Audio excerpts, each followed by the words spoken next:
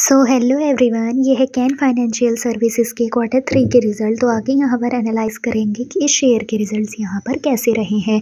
तो देखते हैं यहाँ पर इस शेयर के टोटल इनकम को। तो ईयरली बेसिस में यहाँ पर जो इनकम है वो forty three point eighty four lakh थी, जो क्वार्टरली बेसिस में fourteen point eighty seven lakh यहाँ पर हो गई है।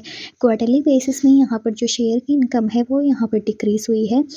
इस शेयर के टोटल एक्सपेंसेस को देखें तो वो ईयरली बेसिस में thirty point ninety six lakh था, जो क्वार्टरली बेसिस में eight point ninety four lakh यहाँ पर हो गया है। इनकम के साथ साथ यहाँ पर जो है शेयर के एक्सपेंस भी डिक्रीज हुए हैं।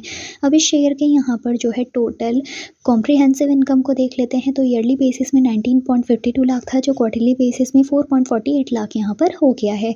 क्वार्टरली बेसिस में यहाँ पर जो शेयर के प्रॉफिट है वो यहाँ पर डिक्रीज़ हुए हैं। इस शेयर के अर्निंग पर शेयर को देखें तो वो ईयरली बेसिस में सिक्सटी सेवन पैसे था, जो क्वार्टरली बेसिस में फिफ्टीन पैसे के राउंड यहाँ पर हो गया है।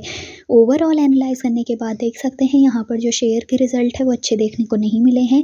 प्राइस लेवल की बात करें तो इस मंथ तक का शेयर का मैक्सिमम टारगेट आपको जो है सेवनटीन रुपये के अबव वैसे तो देखने को मिलेगा सेवनटीन रुपये टू ट्वेंटी पैसे ऐसे ही आसपास। तो शेयर के रिज़ल्ट तो अच्छे देखने को नहीं मिले हैं तो आप इस शेयर को जो है इस मंथ तक के प्रस्पेक्टिव से होल्ड करके अभी तो सेल करना चाहे तो कर सकते हैं, वैसे लॉन्ग टर्म के प्रस्पेक्टिव से तो होल्ड यहाँ पर मत करिए।